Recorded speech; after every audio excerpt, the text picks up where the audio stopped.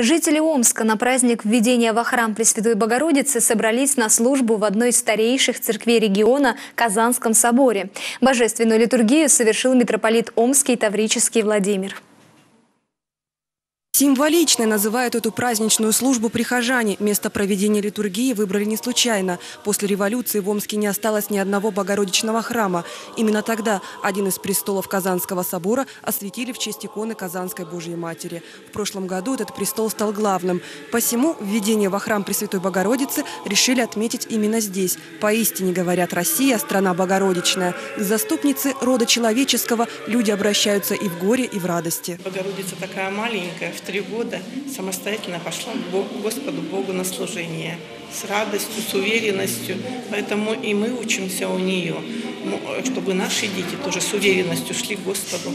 В течение всей жизни Пресвятая Богородица помогает, мне помогает, моим детям помогает. У меня двое сыновей, две невестки, две внучки.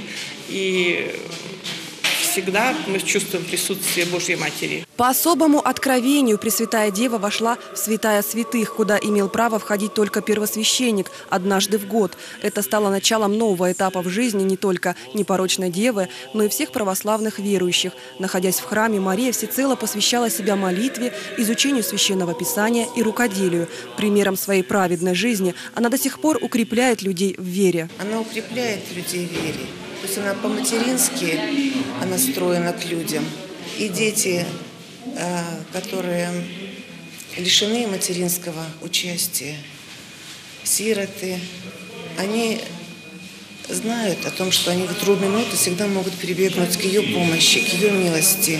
В дни рождественского поста верующим особо требуется помощь Царицы Небесной. По ее молитвам людей стороной обходят искушения и несчастье. Недаром именно в этот день допустимы некоторые послабления. К примеру, можно себе позволить отведать немного рыбы. Чего не скажешь о пище духовной. Здесь пост необходимо соблюдать строго. Об этом во время службы прихожанам напомнил митрополит Омский Таврический Владимир. Пост не только телесный, но пост и душевный. Если и душа, и, и телу поститься, так как полагается, как, как учит церковь, то это спасительно для нас. Я хочу вас, дорогие мои, сердечно поздравить с этим радостным праздником введения во храм Пресвятой нашей Богородицы.